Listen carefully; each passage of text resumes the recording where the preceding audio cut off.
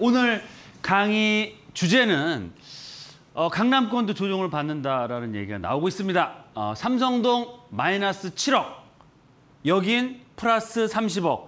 이것은 바로 어디일까요? 바로 용산이다 라고 먼저 말씀을 드리겠습니다. 어, 최근에 보도 자료를 좀 살펴보면은요. 더 오른다는 얘기가 나오고 있습니다. 어디가 용산이 그런 상황이고요. 최근에 분양 한남동에서 분양했던 고가 아파트 무려 135억 신고가를 찍었습니다. 뭐 빌딩의 가격대가 아니고요. 집 한 채 가격이 135억이다. 왜 그럴까요? 어, 최근에 똘똘한 한 채 선호 현상이 점점 더 커지고 있죠. 입지도 제일 좋으면서 개발 호재가 있는 지역, 강남권 그 중에서 또뭐 용산이 가장 선두로 치고 나가고 있고요. 특히 윤석열 정부 출범에 따른 어, 집무실 이전에 따른 용산에 대한 그런 개발에 대한 기대감들이 점점 더 커지고 있다라고 보시면 좋을 것 같습니다. 특히 용산구에서도 한남동, 이태원동 라인을 중심으로 해서 신고가가 이어지고 있습니다. 거래만 됐다 하면 20억, 30억대 이상이 더 가격대가 올라가면서 거래가 되고 있다. 그만큼 자산가들, 정말 우리나라를 대표하는 그런 부자들이 용산을 선택하고 있다는 얘기입니다. 그만큼 미래 가치가 더욱더 커질 수밖에 없다라고 말씀을 드리겠고요. 어, 다양한 정비 사업들이 용산에 많이 있습니다. 용산 역세권역의 도시환경 정비 사업, 즉 주상복합 아파트로 개발되는 사업들, 한남 뉴타운, 또 동부 이촌동의 리모델링 사업들, 서부 이촌동 재건축, 또 국제업무단지 뭐 한 시간이 모자랄 정도로 다양한 개발 호재들이 있는데요. 이런 정비 사업과 어, 특히 용산 민족공원 개장 다양한 개발 사업들이 탄력을 받고 있기 때문에 어, 수요가 집중적으로 이루어지고 있다라고 보시면 좋을 것 같습니다. 모든 재화, 집값은 뭐에 따라 결정이 될까요? 바로 수요와 공급에 따라 결정이 되는데 수요는 계속해서 커지고 공급은 제한적이다 보니까 용산, 특히 한남동, 이태원 라인들의 고가 주택들의 신고가가 이어지고 있다라고 보시면 좋겠습니다. 특히 이번에 오세훈 시장 어, 최초로 사선에 성공했었는데요. 인터뷰 기사가 나오고 있습니다. 아, 강남 집값은 안정화되는 중이고 어, 집값이 많이 올라가지 않게끔 어, 재건축 아파트 속도 조절을 하겠다라는 얘기를 했고요. 거기에 비해서 용산권역에 대한 그 개발 이슈에 대해서 굉장히 강조를 했습니다. 왜 그러느냐? 용산 국제업무단지 과거에 어, 서울을 대표하는 대한민국을 대표하는 랜드마크로 개발을 하려다가 어, 금융위기로 좌초가 됐는데요. 이번에는 어, 과학기술로 구현된 smart compact city 전 세계 IT 개발자들이 용산으로 모일 수 있도록 지금까지는 IT 하면 판교로 대변이 됐는데 앞으로는 어디다? 바로 용산이 될 수 있다라고 말씀을 하셨고요. 특히 용산은 업무와 주거만 있는 것이 아니고 문화와 예술이 복합적으로 이루어지면서 개발이 될 수 있는 곳이다라고 얘기를 했습니다. 그만큼 어, 서울을 대표하는 랜드마크로서 개발이 될 지역이고요.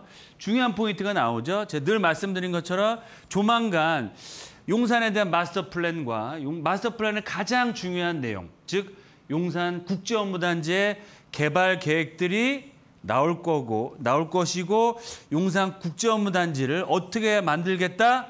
서울의 랜드마크, 대한민국의 랜드마크로 만들겠다라고 확정 발표를 했습니다. 그만큼 올 하반기에 국제업무단지 발표와 발 맞춰서 정말 다양한 정비 사업들이 속도를 낸다고 했을 때는 용산 정말 강남을 따라잡을 수 있는 강남을 능가할 수 있는 유일한 지역으로 새롭게 어, 신도시로 컴팩트 시티로서 어, 변화를 할 예정이다라고 보시면 좋겠습니다. 그렇기 때문에 정말 20억, 30억, 40억 뭐 올라가는 거고요.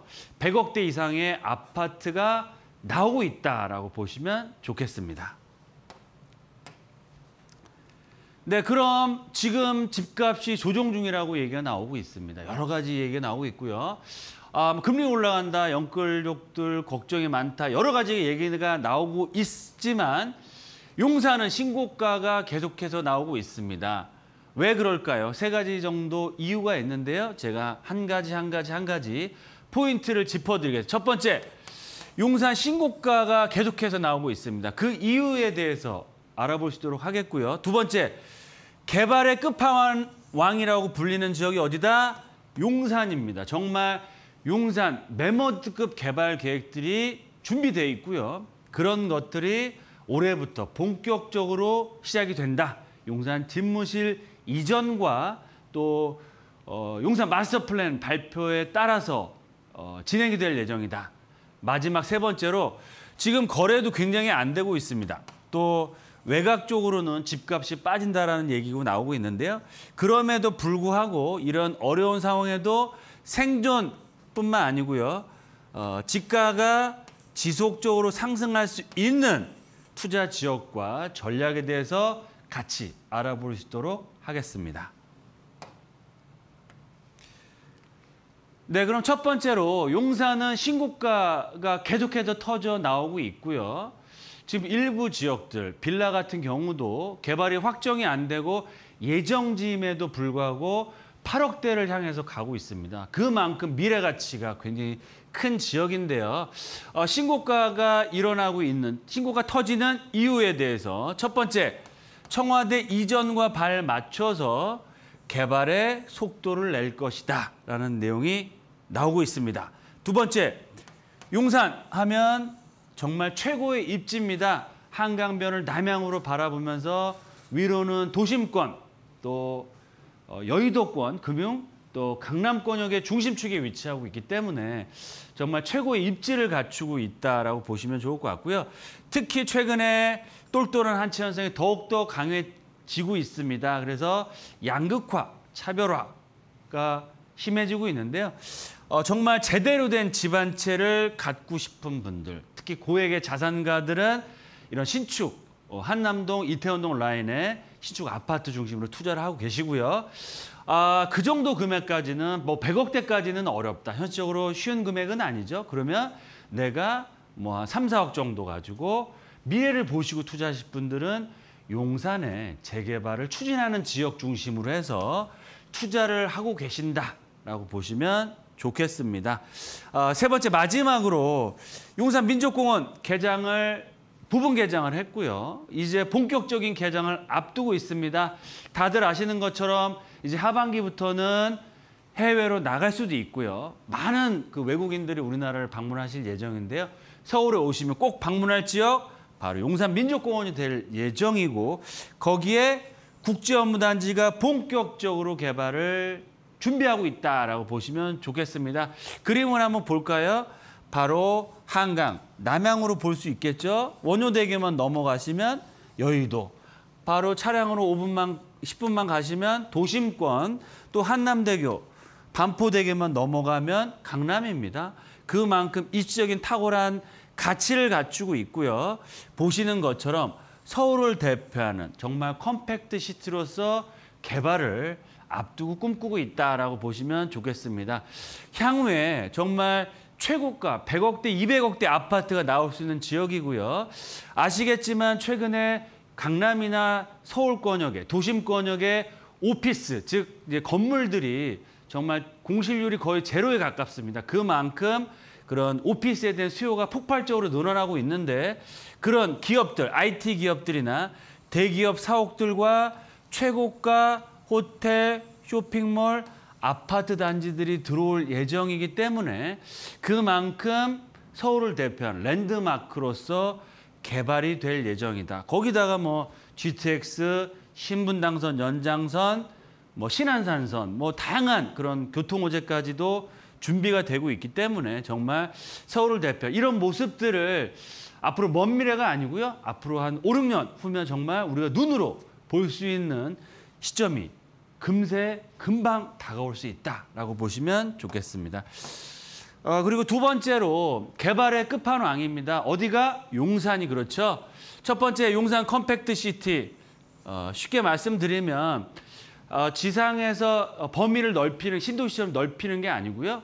위로 높이 올리는 것을 compact city라고 합니다. 그래서 그 compact city 안에는 어, 상업시설, 또 업무시설, 쇼핑몰, 문화시설. 그래서 이 compact city 안에서 모든 걸 다 해결할 수 있는 그런 미래 도시가 용산이다라고 보시면 좋겠습니다. 그런 compact city 1순위 후보 지역이 바로 국제 업무 단지 또 한강변 거기에 발 맞춰서 서부 이촌동이 준비를 하고 있다라고 말씀을 드리겠고요. 어, 두 번째로 용산의 정비 사업들 어, 예전에는 정말 용산에 대한 투자 가치 좀 부정적으로 보신 분들은 야 용산 정말 개발 언제 되겠느냐 내가 죽을 때까지 되겠어라고 말씀들을 하시곤 했는데요. 이제는 그런 기간의 리스크는 거의 사라졌다라고 보시면 좋겠습니다. 왜 그러느냐?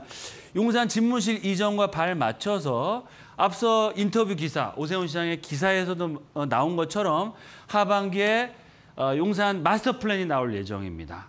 그리고 국제업무단지 계획들이 나올 예정이고요. 전체 면적의 무려 80% 이상이 재개발이 확정이 됐거나 정비 사업이 확정이 됐거나 앞으로 정비를 할 예정입니다. 어느 지역이냐? 바로 서울역 북부 역세권 한화에서 거의 3조 가까운 자금을 투자, 투자하고요. 경부선도 지하화 확정이 됐습니다. 서계 청파동 거의 4천 세대 가까운 또 정비 예정 지역으로 동의서를 걷고 있고요. 어, 신속 통합, 청파, 정파 1구역 재개발 구역들 원으로 일가도 거의 3천 세대 효창공원 역세권 또한 3천 세 메머드급이죠. 거의 뭐, 뭐 몇백 세대가 아니고요. 2천 세대, 3천 세대의 메머드급 단지들이 줄줄이 나올 예정이고 원유로 3사가 라인과 신창동 라인도 어, 주택 재개발 사업들을 준비하고 있습니다. 어, 서부 이천동 또 한강변에 한강로에 도시환경 정비 사업 그리고 용산 민족공원 하단부에 어, 동부 이천동 또한 재건축이나 리모델링에서 거의 대부분의 아파트들이 어, 신축, 재건축 또는 리모델링을 준비를 하고 있습니다. 그래서 뭐 이 지역 같은 경우도 평균 가격대가 무려 5억 이상 어, 상승을 하고 있다라고 보시면 좋겠고요. 공원의 동쪽 유엔사 부지 어, 올해 분양을 앞두고 있습니다. 송단도 어, 최고가 아파트로 개발될 예정이고요. 한남 뉴타운 뭐 1구역까지도 이제 포함이 돼서 본격적인 개발을 앞두고 있으면서 어, 한남동 쪽 이태원동 라인도 최고가 부촌과 쇼핑 또 명품 샵들 또 화랑이라든지 어, 이런 문화시설들이 계속해서 들어오면서 가격대가 정말 부르는 게 값이라고 표현할 정도로 가격대가 올라가고 있고요.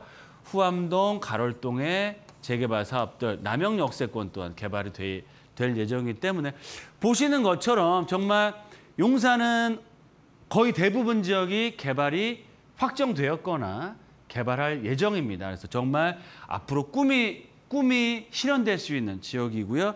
그렇기 때문에 세 번째 마지막으로 미래 가치 면에서 가장 최고의 지역이다. 우리가 투자할 때는 미래 가치를 보고 투자를 하셔야겠죠. 그런 차원에서 가장 좋은 지역이고요.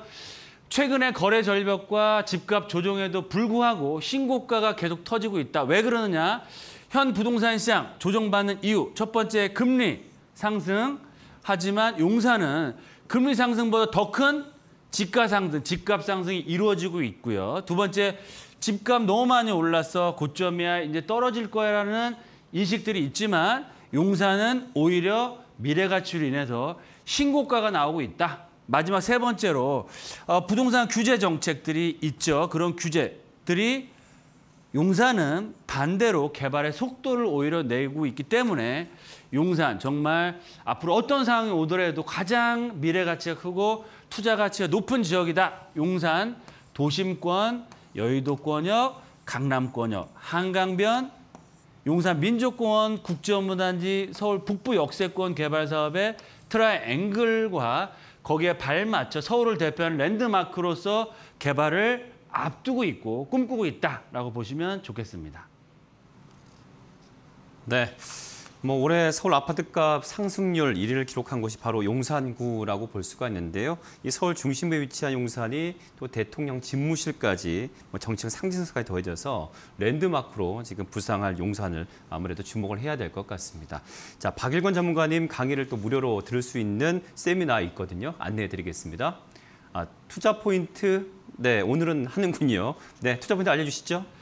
네, 일단 세 가지로 정리해서 말씀을 드리겠습니다. 용산 하면 최고의 그런 어, 투자 가치가 있는 지역이라고 말씀드렸죠. 최근에 뭐 경제 위기다, 어, 부동산 조정 반달의 얘기가 나오고 있습니다. 그런 위기에도 불구하고 이런 위기가 기회로 바뀔 수 있는 지역 바로 용산이다라고 말씀을 드리겠습니다. 두 번째, 정말 3, 4억이라는 정말 소액 투자로 소액 투자로 30억대 아파트를 소유할 수 있는 기회의 땅 바로 용산입니다. 아, 지금 시세를 알아보시면 아시겠지만 서울권역의 외곽에 뭐 재개발 이슈가 좀 나오는 지역들 뭐 빌라 가격대가 5억대가 넘어가고 있습니다. 그런 지역 또한 투자 금액이 최소한 2억에서 3억 가까이 들어가는데요. 아직까지도 잘 틈새 용산에서 틈새 시장을 찾아보면 3, 4억이라는 정말 소액으로 정말 30억 이상의 정말 최고가 아파트를 받을 수 있는 그런 틈새 지역과 종목들이 있다라고 말씀을 드리겠고요. 마지막으로 용산 투자 어, 다양한 정비사업 개발 계획들 또 투자 지역도 굉장히 넓습니다. 이런 지역들은 저희와 함께 말씀을 나누시면서 특강을 통해서 어, 심층적인 또 방송에서 말씀드리지 못하는 내용들을 어, 들으시고 또 다양한 지역들을 임장 활동을 통해서 비교 분석해서 투자하실 때는 용산에 정말 그런 큰 꿈을 실현시킬 수 있는 정말 성공적인 투자자가 될 수 있다라고 말씀을 드리겠습니다.